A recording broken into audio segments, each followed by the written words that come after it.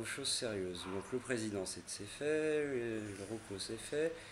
Jeune, penses-tu qu'il y a une place pour l'éliti- l'élitisme, l'éthylisme dans le porno? Non.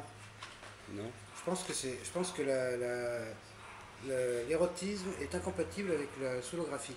J'adore la solographie, j'adore euh, boire, mais quand je bois, je bande plus. Quand tu bois, tu baises, tu baises très mal. T'es comme le président.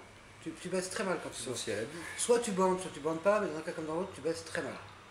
Euh, baiser, c'est un de belles- truc qui demande. j'ai de belles, belles nuits bourrées. Hein. Oh.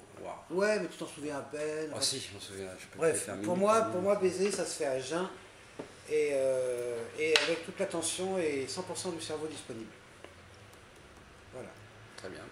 Je, je, je prends note. Et quand tu as bien baisé, tu t'autorises une solographie. C'est moi après.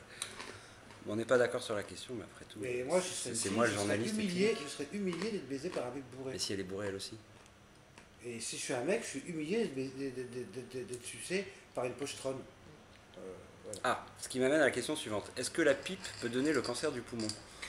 Euh, Est-ce que la pipe peut donner le cancer du poumon? Non, de l'œsophage peut-être. Très bonne réponse. Alors tiens, ça me, ça me renvoie les, euh, les questions. Pas que- Ou de l'estomac? Ouais. Si. Et là, on aborde les questions libertaires.